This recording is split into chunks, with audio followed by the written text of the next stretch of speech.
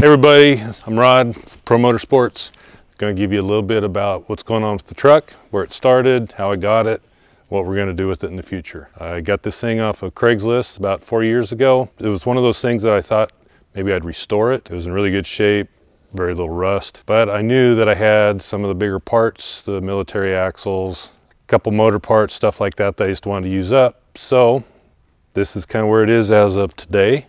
So what we've got is a 76 GMC square body, two and a half ton Rockwells under it. It's got chromoly axles and spools, both ends. On the driver's side, we'll show you a picture of, I put a manual hub on it so I could disengage the front so it doesn't tear everything up when you're driving across lawns and stuff like that. If you wanna look under here, Got some basic shocks. These actually came off monster truck locally here. Uh, so they've got a little bit of history. Seems to work really good with this. We're still kind of working in some of the details on them, but we're getting close. Got some big bump stops here, uh, sway bar, all your basic stuff. We weren't really sure at first how this was going to end up, but once we got rolling, we kind of just went from there.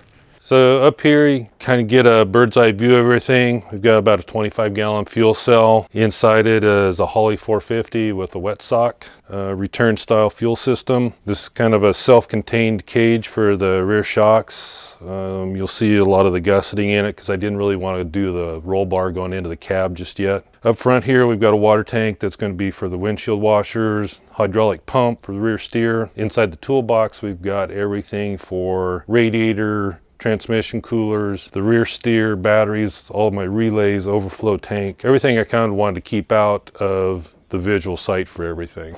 And back here you can see the rear steer, same basic kit as what's on front. So on the driver's side here you can see the self-centering proximity switches. Uh, I got those from Jurassic. They do the monster trucks up in Canada. Super nice guys to deal with. The bottom part of the axles, you can see the kingpin supports that we put on it. I want to build it so that it holds up. The Rockwells are known for splitting out the, the knuckles on it. As far as the motor, it's really nothing special.